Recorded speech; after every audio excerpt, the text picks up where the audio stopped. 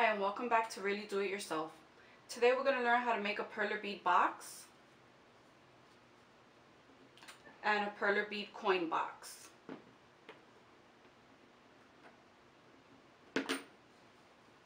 So as you see I've ha I have one started here. In order to make a box you need six sides. You need front and back, two sides, and top and bottom. So I'm working on the top right now. My square here is 16 across, 16 down, and with the outside is going to be a 17 perler bead box. So let's fill that in. And as you see, I've already allowed for the little coin slit. So now I'm going to fill mine up with white. I've added some confetti. So I've already placed those. And now I'm just going to continue to fill this one in. I like to put my beads in my hand and work this way. You can also work with the little tool that comes, a little tweezer. Looks like this when you buy your perler beads. I find it a little bit on the tricky side sometimes, so I just like to do it with my hands.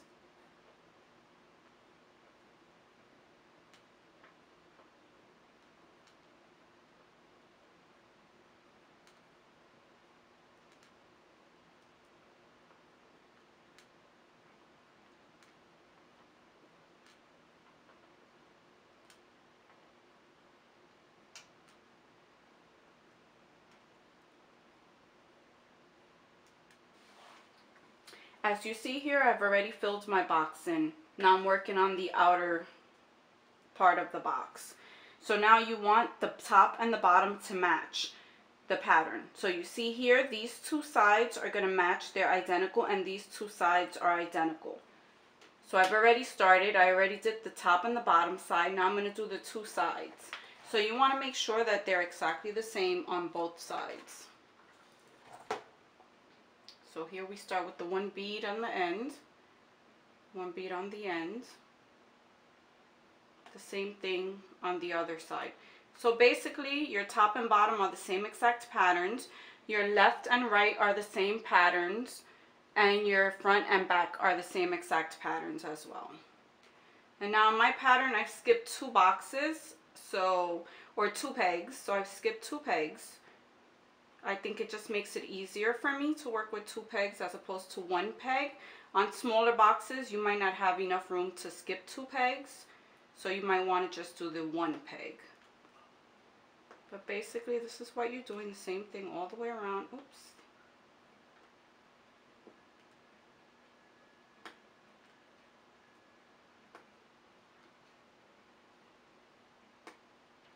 Now, sometimes what I like to do when I do my boxes is make sure that they're identical. So put one on top of the other, and make sure that they're the same size. Perfect. And also what you want to do before you iron is you're going to check the patterns and make sure that they're going to fit perfectly. As you see here, it'll fit perfect. Um, then what we want to do is we want to take parchment paper that comes with the perler beads and you want to put it right on top. I do it right on here take a hot iron and what you want to do is you want to iron the piece. So once everything is together,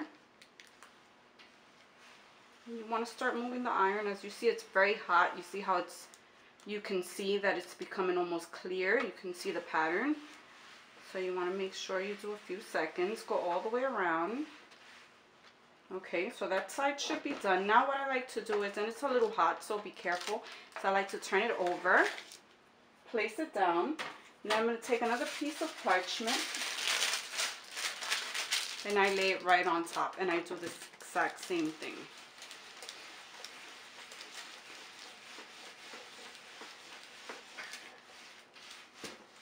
Make sure that all the beads are sticking to the paper. And then you want to peel it off.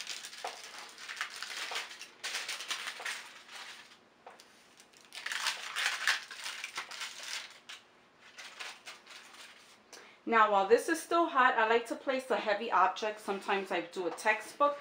Right now, I'm just going to place my perler bead box until it sets just a little bit so that way it's nice and flat. You see how this is flat? And some of them Like here it's just a little warped. So you want to make sure you keep it on something heavy for a little bit. Now we're just going to move to attach the box. So what I'm going to do here is I'm going to put my sides.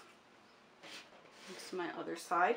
But before that, I want to show you the pattern that I've started with here. As you see here, I have three here on the edge, and then I skipped two. I did two, skipped two, did two. So you're going to follow this on the sides all the way around. It's the exact same pattern, regardless of which way you turn. The other side, you're going to skip one, start two, skip two, start two, skip two, do two, skip two, do two.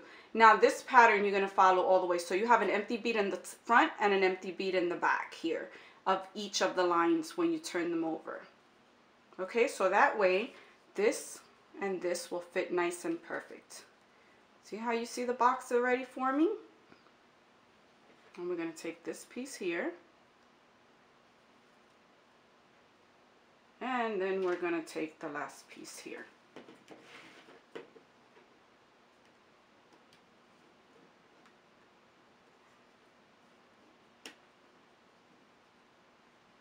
We're going to take our bottom piece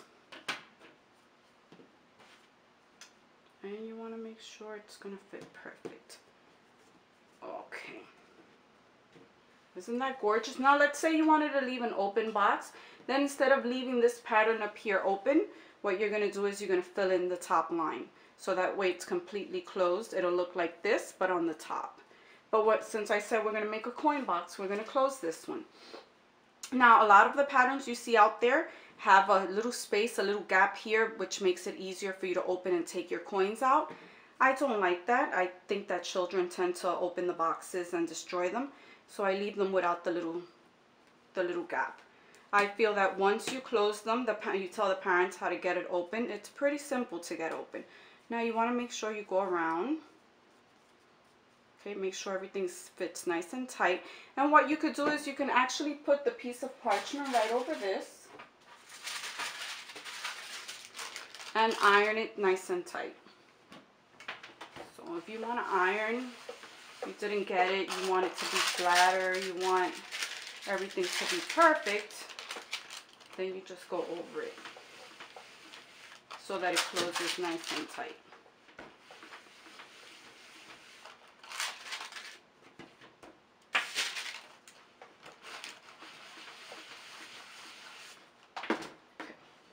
I can always finish that later. Now it's a little hot, that's why it's moving. But you see there, there you have the perler bead coin box already set and ready to go. Now the only thing here is if you want your pattern, if you do a pattern and you want this to be in your front, you want to make sure that when you do your top piece, you align it where your pattern is going to stay on the front, where the slot is not going to be to the side and your pattern is going to be on the side. Okay, so there you have that. One's the Spikeling box. We have here the little tiny box, and this is the same exact way. So here, let's see if I can get this one open if it behaves for me. Oh, I open this way. So you see, you don't need the little slit. They're pretty easy to open. And here we have an emoji one. And I've already started to open as you see here. They're very easy to open. Once it's set nice and hard, and very easy to close back. Now, before I forget, I found these beautiful patterns that you can use to draw out your design from kandipatterns.com. And it brings a grid like this, or it brings the smaller grids. So what you can do is take it, draw your design before you actually go and do it and make sure that everything is good, which I've done here for this little box. Okay, make sure to subscribe. Follow me Really Do It Yourself on Instagram and Facebook.